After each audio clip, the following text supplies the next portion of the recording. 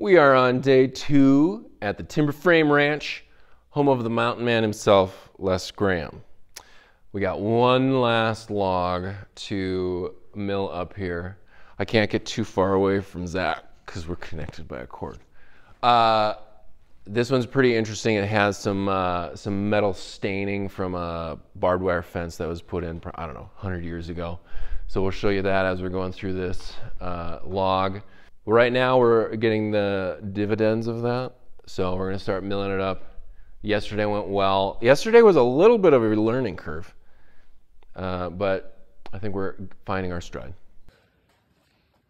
Well, Les is working in the other barn. I'm not sure what his opinion is on getting the floor wet, so we're gonna be a little subdued in our, our pour here.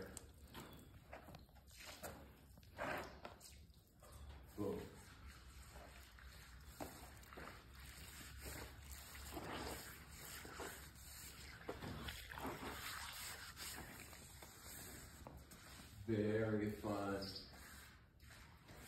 I tell you what, I thought that the the metal uh, striations from the barbed wire fence were gonna go a lot further that way, but they sure didn't.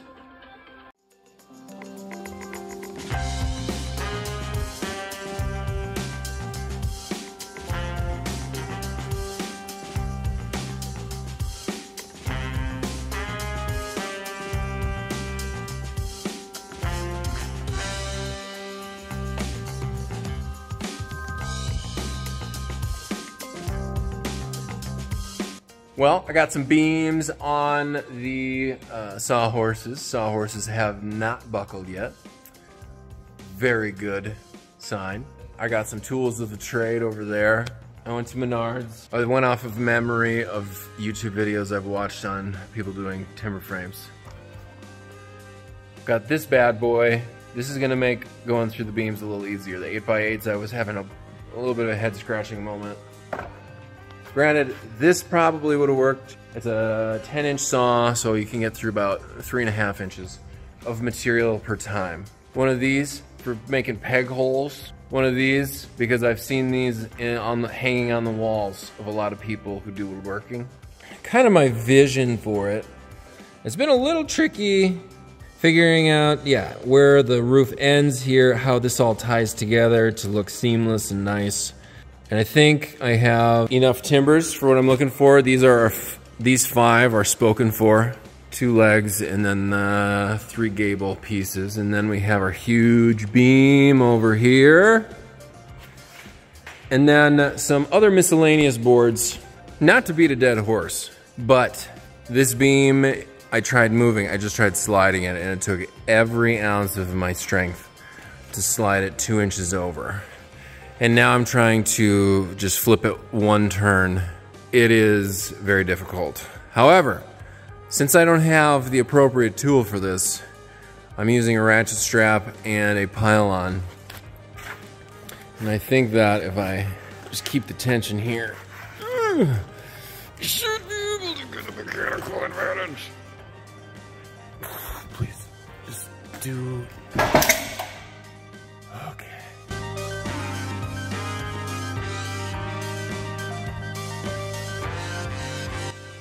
honestly say I thought that was gonna go a lot better.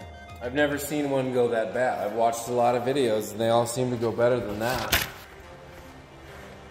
Perfect.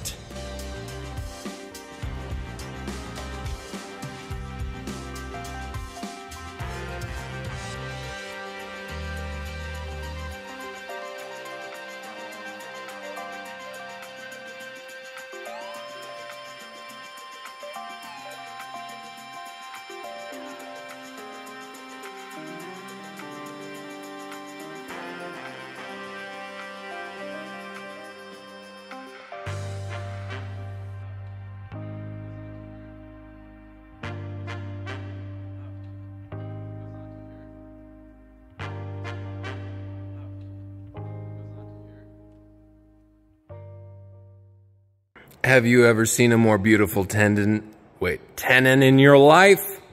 My process is not very traditional. I'm now using this saw exclusively, basically. and that saw is all. I just cut this, and then I cut as far through this as I can get. So on the next one, I'm just gonna cut the end square so I can use that as a better reference for the giant saw.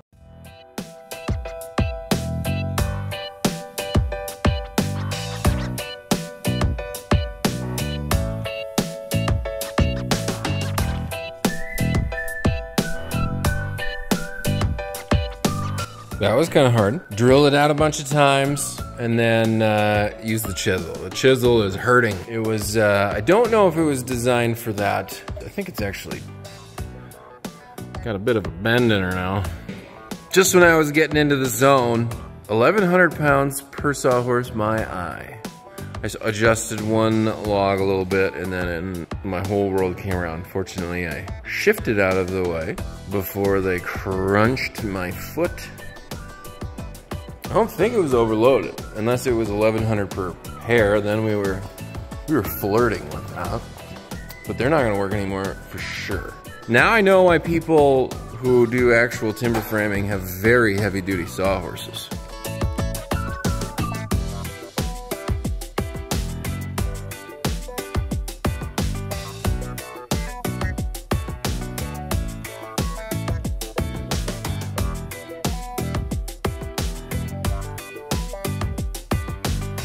We are making progress. I have, uh, I got the long end of the stick where I'm in a relatively cool shed and it's very warm outside today. Sorry, Charlotte and Zach, but it's working out good for me.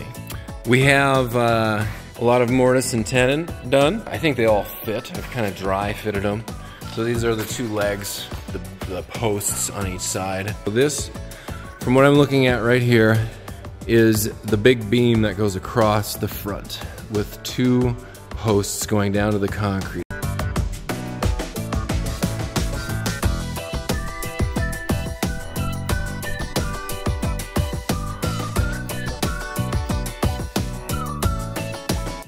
Tis another day.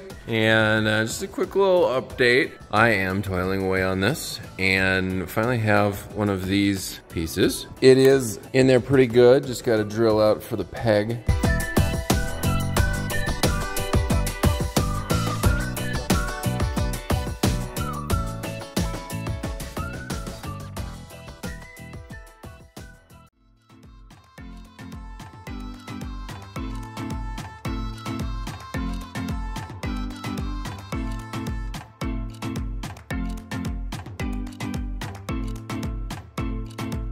Well, we're on a new day of fiddling and chiseling away on the timber frame. This morning has predominantly been working on these little details. So I did a little arch on the bottoms of these. They should fit in there pretty good. I just strapped them in as you can see. Oh, pulling out there. I thought it was. So you can kind of see where the joints go together, how that all works. That one is fitting into this pocket with a little shoulder. This one has a little pocket there. First time attempting pegs. Official second attempt. First attempt, I took this peg, I made this on the table saw, one inch. I have a one inch hole that I'm going into. I got terribly stuck. Anyways, it seems a little tricky to get the, the peg in there. I'm gonna try and do it again. Second attempt on the king post.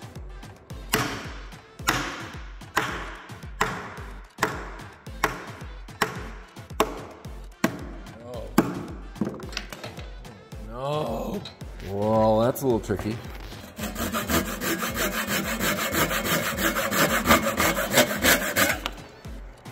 Please don't do that again. Please don't do that again. Please keep going.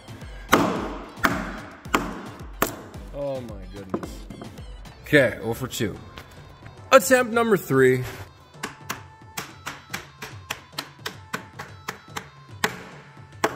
Oh. Please tell me it's through. It's not. It's not through. Just need an inch. That's all I need. So just hit it correctly. You made it through! Yes!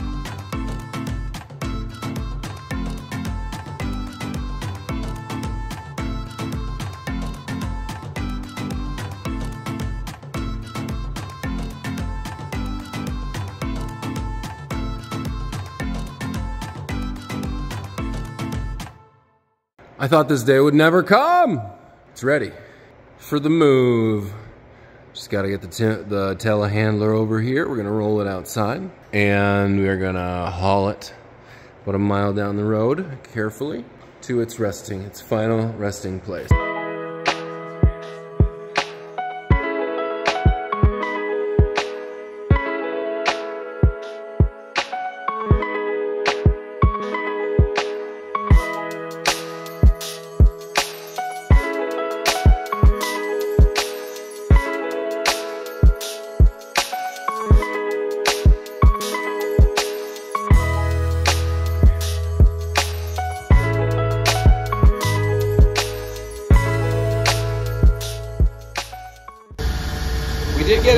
Uh, stood. It's a little more top heavy than I thought uh, it was going to be. But thank goodness for the Mountain Man Les. Alright, so don't worry, I'll get these loaded by myself. They're so heavy. You're doing such a good job.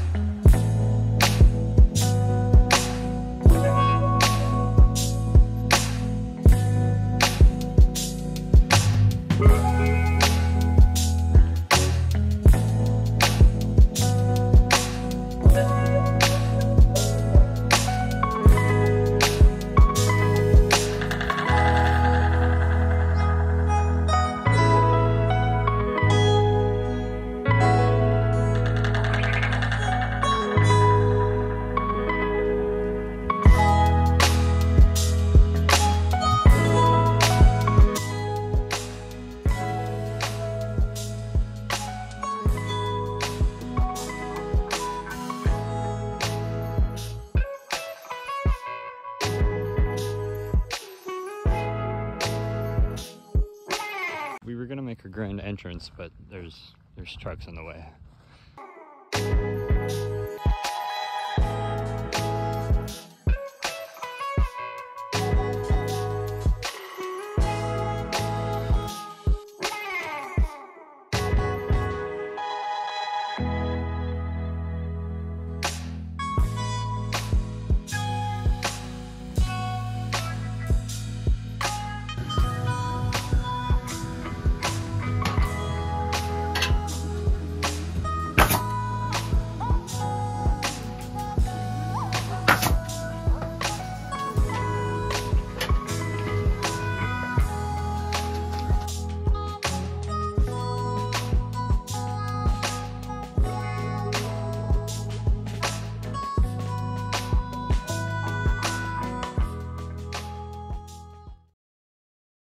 We're gonna start chopping them into pieces and turn this uh, this pile into hopefully some beautiful timbers. First time Les has ever uh, worked with timber frame type things before. So, oh, hold on, that was timber frame.